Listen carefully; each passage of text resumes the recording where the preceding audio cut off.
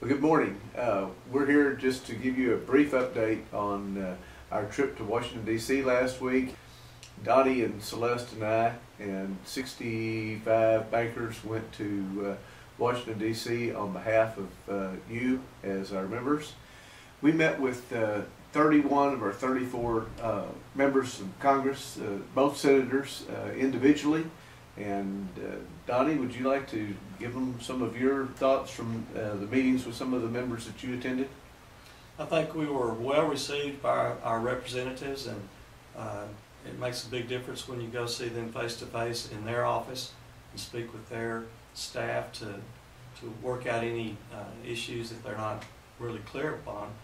And uh, I think we had a good time, and uh, I know the bankers that went enjoyed it, and we're hoping the next time we go up that we can have 120 bankers go rather than just 60. Celeste, what do you think? I think that that it was the best trip that I've been on personally. The bankers were much more engaged. They, understandably, you all know what's going on in DC because it affects your bottom line every single day. And this was the first time I felt like every time we go, we prepare talking points and send briefing materials and that kind of thing. And this was the first time that I really feel like the bankers didn't need our stuff because they're up to date on what we're talking about every single day. And and I think that that not only did I pick up on it, I think for sure the um, the members of Congress that we spoke with and their staffs picked up on it as well.